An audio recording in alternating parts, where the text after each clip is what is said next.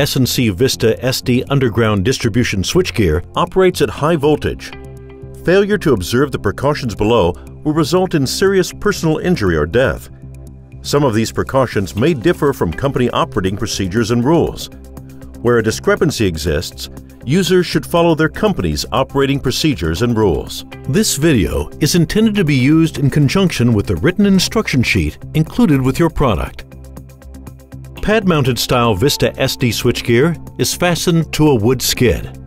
You'll need access to the inside of the enclosure to remove the skid. We'll explain how to open the enclosure doors in the section Access to Interior. Remove all packing materials from the outside of the pad-mounted enclosure. Examine the shipment for external evidence of damage as soon after receipt as possible. Once removed from the skid, use 6-foot or 183 centimeter lifting slings of equal length to lift the switchgear. For two-way and three-way switchgear assemblies, lifting slings of 4 feet or 122 centimeters are acceptable. Attach the lifting slings to the lifting tabs. Arrange the slings to distribute weight evenly and avoid sudden starts and stops when lifting.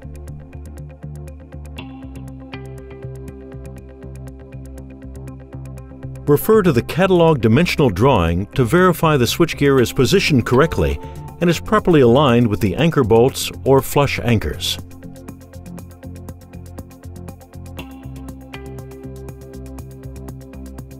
Level the switchgear using metal shims as required between the mounting pad and the enclosure. Insert a pentahead socket wrench or tool into the hinged roof latching mechanism. Rotate the wrench or tool 360 degrees counterclockwise to unlatch the hinged roof. Do not use undue force, which may damage the locking mechanism. If optional key interlocks are provided, make sure the interlocks are in the correct position to allow door opening. Lift the hinged roof to approximately a 45 degree angle. The hold open mechanism will engage automatically. Test the hold open mechanism by slowly releasing your grip on the hinged roof before doing work inside the enclosure. To access the termination compartment, lift the latch handle to open the right-hand door or the center door. Open the door far enough to permit the door holder mechanism to engage. Five and six-way switchgear will have three doors. The right and center door will have a lift latch and the left will have a finger latch. make sure the hinged roof and all doors open and latch without binding.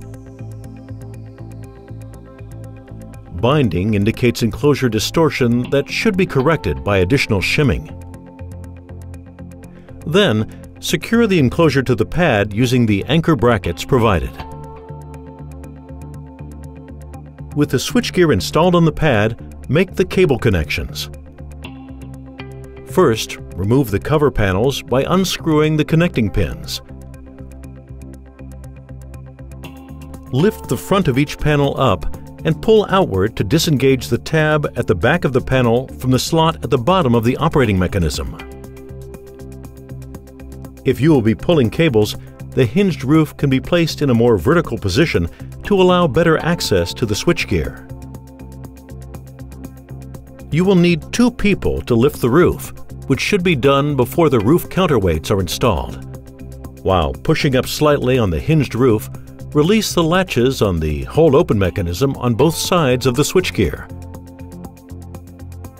Lift the hinged roof to the second, more vertical position.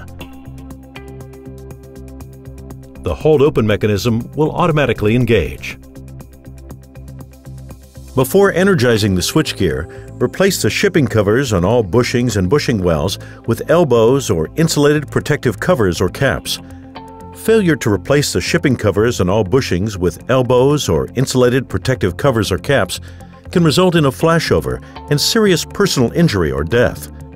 Install the cable support brackets in accordance with the appropriate reference drawing included in the installation and operation information kit that came with your switchgear. Now, terminate the cables with separable insulated connectors following the manufacturer's instructions. The enclosure includes a counterweight mechanism to assist the hold-open mechanism. This counterweight mechanism is shipped partially disassembled. If the roof was previously raised to the second most vertical position for cabling, return it to the 45 degree position.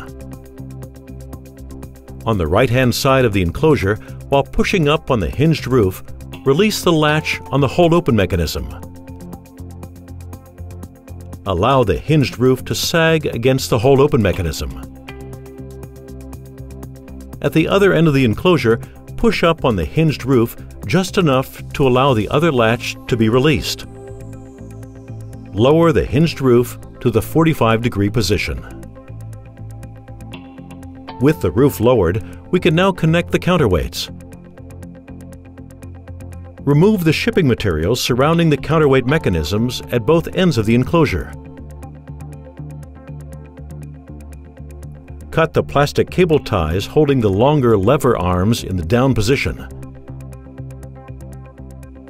At one end of the enclosure, pivot the lower lever arm up and position it to the back of the shorter upper lever arm. Align the holes and press the captive pin through the holes in both lever arms. The pin is self-securing. Repeat this on the other side of the switchgear. With the counterweights installed, we can reinstall the cover panels over each way by inserting the tab at the back of the panel into the slot at the bottom of the operating mechanism. Tighten the pins at the front of the panel. Last, ground the switchgear by connecting the grounding pads on each way to the enclosure ground pad. Then, connect the enclosure ground pad to the system ground using your standard practice. For switchgear furnished with a continuous ground bus, connect the ground bus to the enclosure ground pad. Then connect the enclosure ground pad to the system ground using your standard practice. In either case, Use the equivalent of 4-aught copper in either a single or multiple connection to realize the maximum momentary rating of the switchgear assembly. For a multiple connection, cables smaller than 1-aught copper or equivalent should not be used. Finally, connect the cable concentric neutral wires to the grounding system as appropriate. You may install your own fault indicators on the switchgear. S&C has optional mounting brackets for fault indicators available. Mount the fault indicators on the mounting brackets and attach the associated sensors to the cables below the cable terminations. Secure your switchgear by closing the doors and the hinged roof. To close the doors, lift the door holder mechanism to allow the left-hand door to swing closed. Make sure the finger latch engages the pin. Lift the door holder up to allow the right hand or center door to swing closed.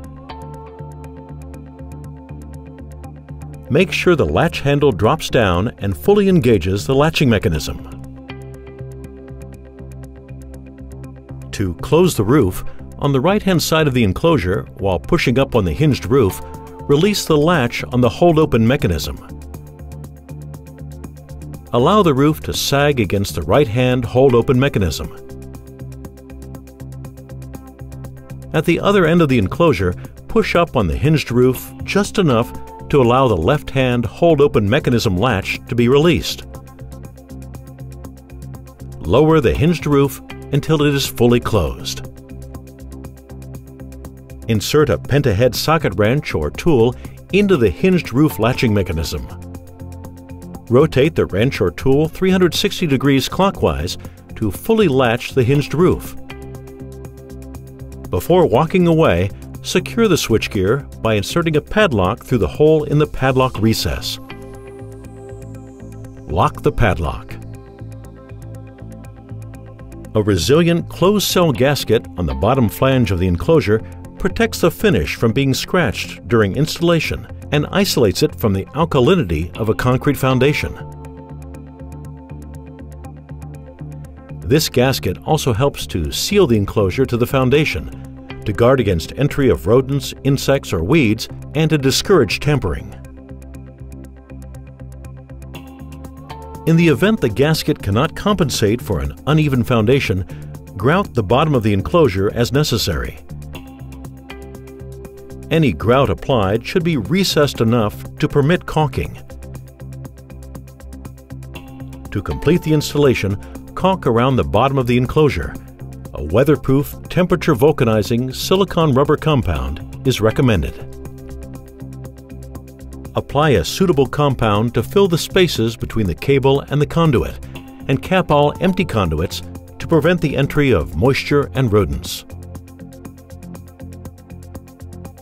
With the installation complete, wipe down the exterior of the enclosure with a clean damp cloth.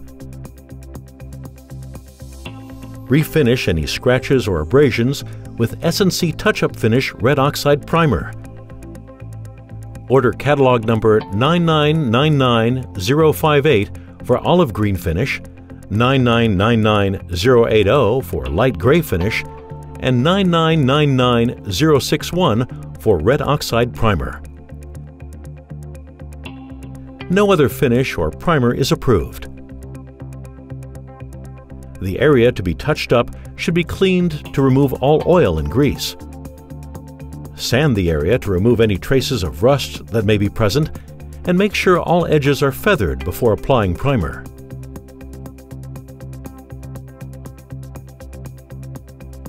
Refer to the operating instruction sheet for information on closing the ways and testing the switchgear. We hope you have found this video informative. If you have any questions, please visit our website at snc.com.